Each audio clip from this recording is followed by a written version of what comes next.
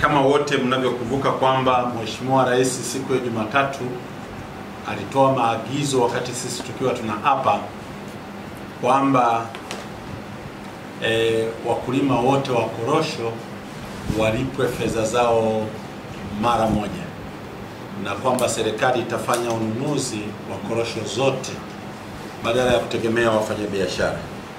Sasa hali halisi iliyojitokeza ni kwamba baada ya agizo lile, na sisi mara baada tu ya kuapa, tulikuja moja kwa moja huku site Wizara ya Kilimo tukiongozana na naibu waziri wangu, katibu mkuu, naibu katibu mkuu, lakini pia waziri wa viwanda, biashara na uwekezaji, naye aliongozana na wataalamu mbalimbali. Wote tulikuja huku tukiwa na lengo kwanza kuweza kujiridhisha hali halisi iliyoko ya korosho katika maeneo mbalimbali, na tulipofika hapa tulijigawa katika makundi mbalimbali kama tulivyokuwa tumeeleza kule awali, na makundi hayo ilikuwa ni kuhakiki kwanza magara tuliyo nayo na kiwango cha korosho tuliyo nayo, lakini pia e, baada ya kujiridhisha tutaka kuona kwamba je, korosho hizo ziko za madaraja gani na madaraja gani.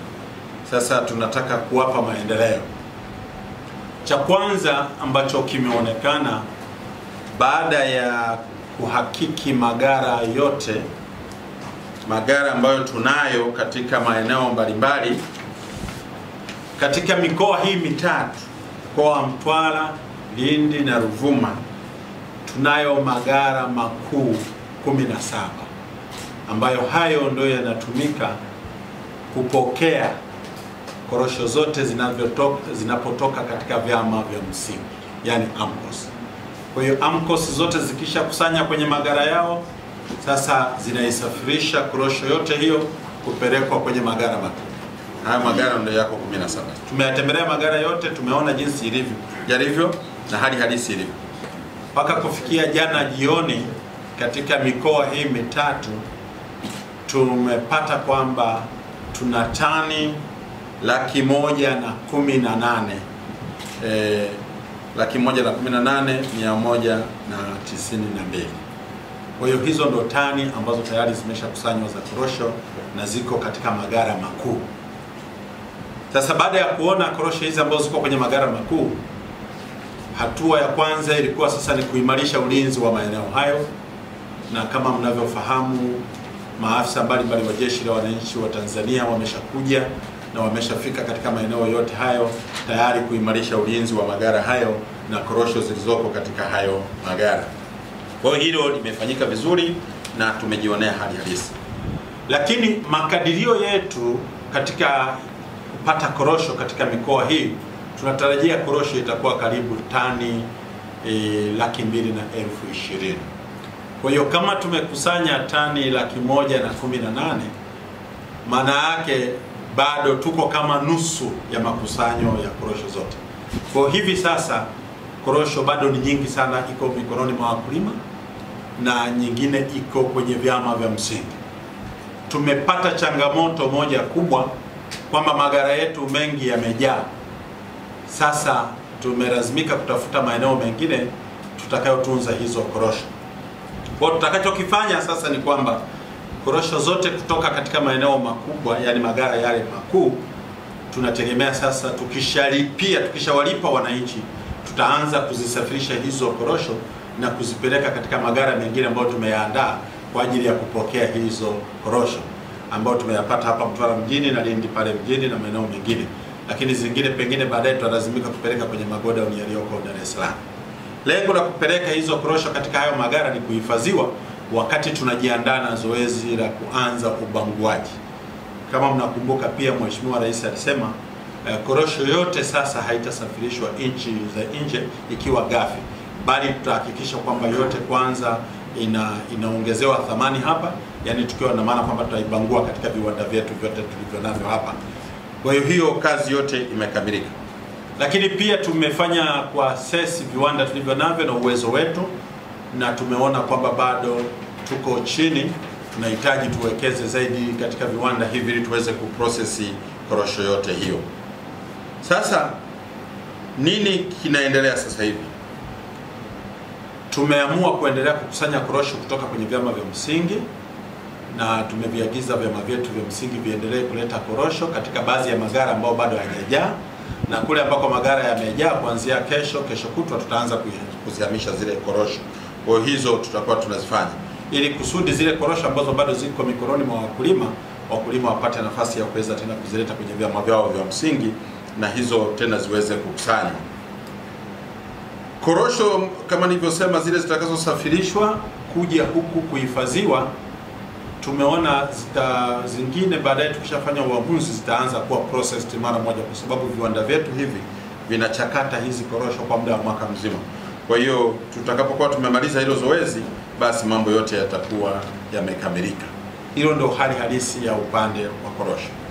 Jambo la pili ambalo tulikuwa tunalifanya ilikuwa ni kwamba tuliahidi, Mheshimiwa Rais wa Jamhuri ya Muungano wa Tanzania aliagiza kwamba tuhakikishe kwamba wakulima wote wanalipwa moja kwa moja fedha zao na walipwe e, bila makato yoyote. Sasa hilo tulikuwa tunashauriana na kuona ni nini kipo na gharama zingine, lakini tukaona sasa tukisema hizi fedha zipitie kwenye vyama vikuu vya ushirika alafu ziende kwenye vyama vya msingi alafu zije zimfikie mkulima, ili zoezi litachukua muda mrefu sana halitaweza kuisha. Kwa hiyo tuliamua sasa kurekebisha, tukaamua kuungana na vyama vya ushirika vyote, tumeungana na wafanyakazi wote, tumeungana na kamati za ulinzi na usalama za mikoa na za wilaya, tukapanga makundi ya kwenda kuhakiki, kwenda kwanza kuhakiki watu waliouza au walio ambao korosho zao zilikusanywa na vyama vya msingi, tuone ni akina nani hao ambao korosho zao zilikusanywa. Kwa utaratibu ufuatao ambao tunasema first come first serve, yani tunatumia FIFO, yani wale waliouza wa kwanza kabisa wale ndio wewe wa kwanza kulipwa, halafu tutafuatia kila mtu kadiri anavyoendelea. Sasa basi, baada ya kugawa makundi haya kwenda kuhakiki, mpaka hadi jana tumekamilisha, katika kufikia jana jioni, tukawa tumekamilisha uhakiki wa vyama 35 vya msingi yani AMCOS, vyama 35 vya msingi. Sasa baada ya vyama hivyo ambavyo uhakiki umekamilika, sasa tumejiridhisha na wananchi wenyewe kwamba ni nani waliuza hizo korosho na wako wapi na wanadai kiasi gani korosho waliuza na wanadai kiasi gani. Hivyo ndio tutakavyoanza nao kulipa malipo. Bado uhakiki unaendelea.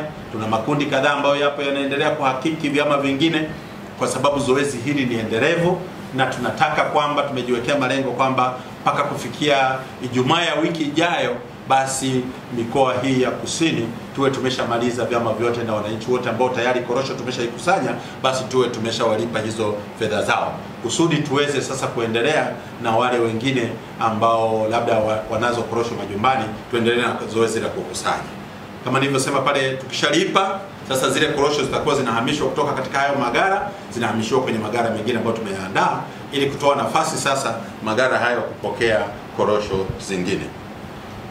Jambo lingine ambalo lipo ambalo limejitokeza katika maeneo mengi na tumeliona, kumeanza baada ya watu kusikia sasa serikali imeanza kulipa kwa bei nzuri, kuna matukio kadhaa yameanza kujitokeza tumeona kuna korosho chafu zimeanza kupatikana, zilikuwepo toka mwaka jana, watu walikuwa nazo kwenye magara na haziko katika ubora ule. Maanake sasa hivi korosho zote ambazo tunazichukua ni za daraja la kwanza, zote ambazo tunazo ni za daraja la kwanza, daraja la pili bado. Sasa wameanza kuleta korosho za mwaka jana, zingine ni chafu, ili nao angalau wafaidike na hera hii. Sasa hiyo tumekamata na tutaendelea kuzikamata na tunataka tumeimarisha ulinzi kabisa kuhakikisha kwamba korosho tunayoitaka ni hii ambayo kwa kweli imezalishwa mwaka huu na ipo kwenye maeneo yanayohusika. Sasa basi, korosho hizi pengine wengine wanaweza wakajiuliza wakasema, sasa baada ya hizi korosho kwanza, hizi kama ni chafu zimetoka wapi? Kuna watu wanazo humo mitaani, lakini pia kuna watu kutoka nchi jirani wameanza jitihada za kuanza kuleta korosho zao, kusikia Tanzania kuna bei nzuri, wanataka sasa kuvusha.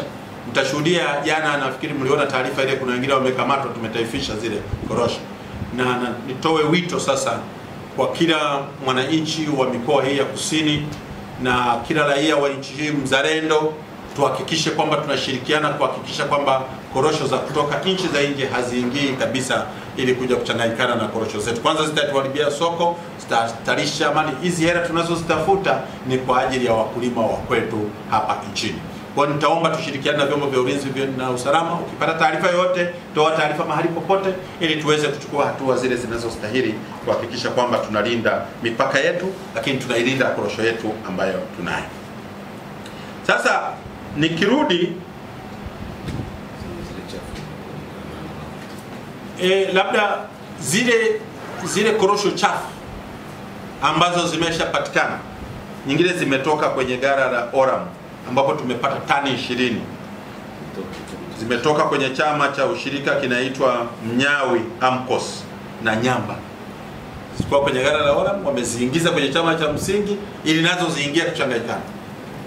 Sasa hicho kitu cha namna hiyo tusingependa kitokea, na wale viongozi kao tunataka wawe makini katika kuhakiki hayo, la sivyo tutawachukulia hatua za kinizamu. Lakini pia kuna chama kingine kinaitwa Mbemba leo AMCOS nao zimepatikana gunia tano. Eh, huyu mtu sijui alikuwa na shida gani, naye amekamatwa na gunia zake tano, lakini ziko chafu. Kwa hiyo ina maana baada ya watu kuanza kulipa na kuona hela ziko nzuri, wataanza kuleta zile zile ndani chafu. Tunataka lazima ubora usimamiwe ipasavyo, nitumie fursa hii kuwaomba watendaji wote kila mahali wasimamie ubora wa korosho yetu. Tunataka kwamba tukishainunua iwe na ubora ule ule na vile ambavyo ile ambayo haiko kwenye ubora, basi hatua zinazostahili zichukuliwe.